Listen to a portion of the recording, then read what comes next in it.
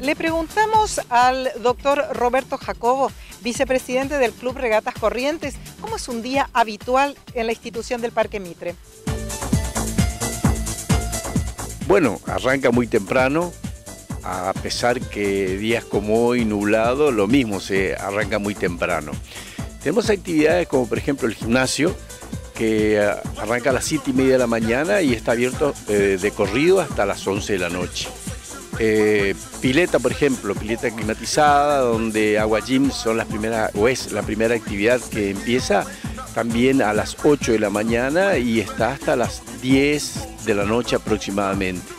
Eh, claro, remo sí, es otra de las actividades donde pueden empezar temprano, a las 8 de la mañana y a las 10, a las 6 de la tarde culmina por una cuestión de seguridad. O sea, por ahí puede extenderse un poco más en la época de verano porque tenemos más horas de, luz, entonces las posibilidades permiten que se pueda extender un poco más. Es un club que se vive intensamente todo el año. Sí, todo el año por supuesto, y estoy hablando de una de las actividades, digamos, este, que tienen eh, instrumentos, elementos que son necesarios para la práctica. Pero por ejemplo a las 8 también empiezan la, gimnasia femenina, que, que se hace en el salón de usos múltiples y está todo el día ocupado, con un receso de una o dos horas al mediodía, pero después empieza otra vez las actividades y terminan a las 10 de la noche, empieza por ejemplo tenis de mesa y que está hasta las 11, 11 y media de la noche. Quiere decir que eh, la actividad es permanente, afloja un poco, claro, sábado y domingo, sobre todo domingo, que descansan los, los, los, deportistas, descansan.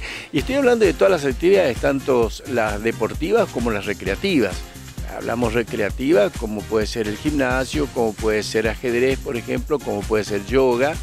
Yoga también hay una intensa actividad y va creciendo, digamos, eh, permanentemente, va creciendo la demanda eh, de horarios para hacer la práctica de yoga.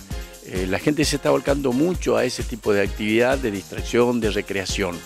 Y bueno, y así por supuesto tenemos todos Vela. Bueno, Vela tiene una, particularidad. Ellos se manejan eh, sin un horario definido porque, eh, digamos, donde están amarrados los, los botes, sí, efectivamente empiezan a las 8 de la mañana y estarían cerrando también entre las 6 y 7 de la tarde.